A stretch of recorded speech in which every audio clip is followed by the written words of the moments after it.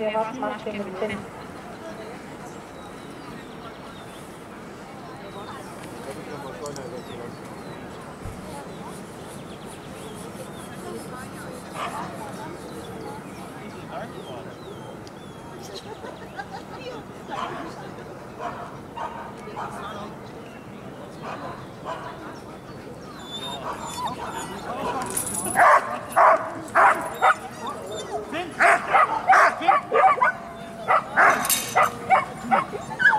Kom in.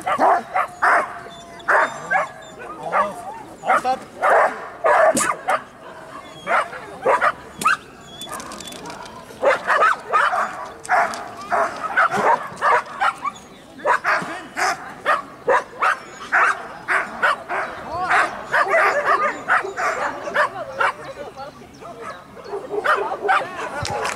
Kailangan sa bagong lumipas ang sentence from our current